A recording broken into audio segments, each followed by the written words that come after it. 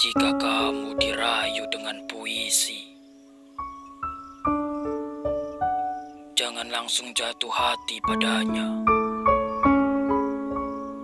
Tanyakan dulu puisi itu untuk siapa. Sebab belum tentu puisi itu untuk kamu.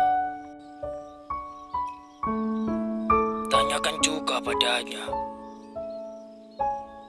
Sudah berapa banyak perempuan yang dirayu dengan puisi itu? Barangkali ia hanya menjadikanmu sebagai objek untuk mendengarnya.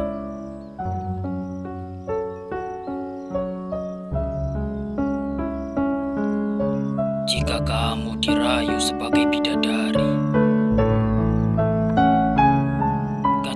katakan padanya bahwa aku bukan bidadari itu.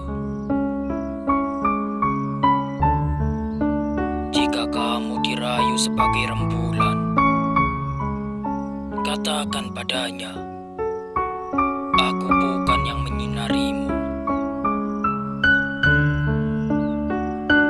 Jika kamu dirayu sebagai permata,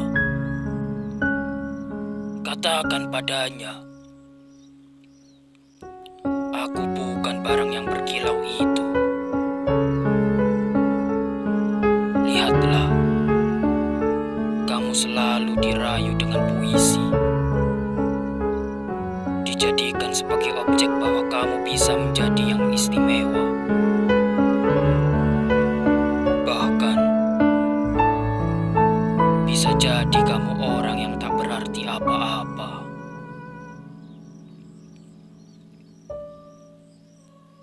Jangan mau dirayu dengan puisi. Katakan padanya, aku ingin bukti. Bukan kata-kata manis. Sebagai pemenang hati.